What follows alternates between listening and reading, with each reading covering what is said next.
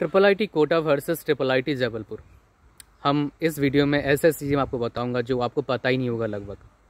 तो इंडिया में triple I बनाया गया था किसके लिए? आईटी फ़ील्ड के लिए और कंप्यूटर साइंस के लिए या फिर ईसी e के लिए बोल सकते हो। बट जबलपुर एक ऐसा कॉलेज है जिसका कैंपस में क्या होता है आपका मैकेनिकल इंजीनियरिंग स्मार्ट इंजीनियरिंग या फिर स्मार्ट मैन्युफैक्चरिंग बोल सकते हो या फिर डिज़ाइनर कोर्सेज करवाया जाता है।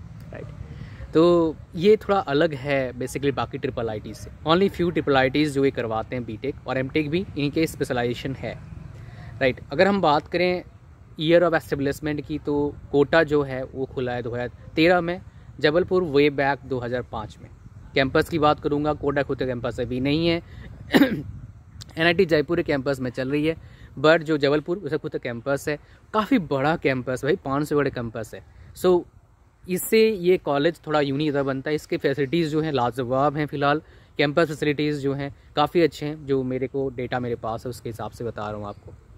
अगर हम बात करें जो कोर्सेज हैं नंबर ऑफ़ कोर्सेज दोनों कॉलेज में करवाया जा रहा है। बीटेक एमटेक पीएचडी कोटा भी करवाती है जबलपुर लगभग पहले से कॉलेज तो डेफिनेटली उनके तो पास थोड़ा एक्सपर्टीज़ ज़्यादा है। बट जो कोटा है, वो एन कैंपस में चल रही है तो एक्सपर्टीज़ की इनके पास भी कमी नहीं है। तो उस लेवल पे रिसोर्सेज फैसिलिटीज़ अपॉर्चुनिटीज़ उनमें कुछ खास आपको फ़र्क नहीं दिखेगा। लैब्स उतना ज़्यादा फ़र्क नहीं दिखेगा आपको, लगभग बराबर ही दिखेंगे आपको। फ़ीस की बात करते हैं बीटेक का फ़ीस है आपका, कोटा का है साढ़े आठ लाख, जबलपुर का लगभग आपका आठ लाख है। एमटेक का फ़ीस है कोटा का आपका कितना, साढ़े तीन लाख के आसपास तीन लाख के आसपास लगा लो कोटा का, और जबलपुर कितना है? चार लाख के आसपास है। राइट अगर हम बात करेंगे आपका जो और एक जो इंपॉर्टेंट चीज़ है प्लेसमेंट का तो जबलपुर का प्लेसमेंट कोटा कंपेरिजन में थोड़ा कम है। कोटा का हाइस्ट पैकेज है 82 लैक्स जबलपुर कितना है आपका 46 लैक्स और एवरेज पैकेज दोनों का लगभग बराबर है। कोटा का है पंद्रह लाख के आसपास, जबलपुर का साढ़े चौदह के लाख आसपास।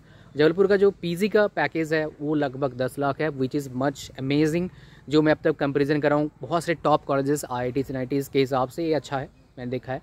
और ये जबलपुर मैकेनिकल करवाती है और स्मार्ट मैनुफैक्चरिंग करवाती है।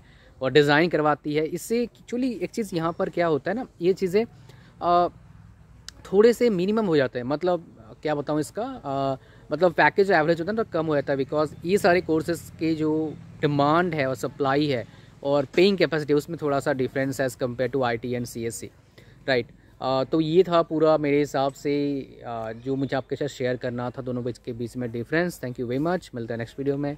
Like comment subscribe God bless you all